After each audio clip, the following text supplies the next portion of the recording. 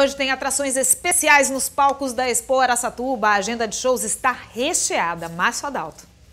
E hoje é quinta-feira, tem atração para lá de especial aqui nos dois palcos da Expo Araçatuba 2017. Eu estou com a Mauri Júnior da Rural Eventos. A Mauri, atração para lá de boa, conta pra gente, quem que vai cantar nesses palcos hoje? Hoje é muito especial.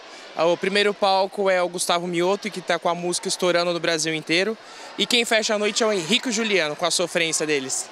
E assim, os shows têm atraído muito a população de Araçatuba. Essa grade diferenciada tem surpreendido vocês? Total, total. Muito, muita surpresa pra gente, tanto na questão de público quanto na questão de estrutura dos artistas. Tá sensacional, muito além do esperado.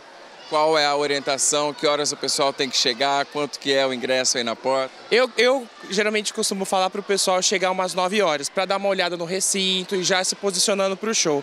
Em relação a valores, todos estão no site e estão no Facebook da Expo, então a pessoa, o pessoal pode estar conferindo lá. Tá certo, Amaury. Muito obrigado pelas suas informações. Márcio Adalto, SBT Interior, na Expo 2017.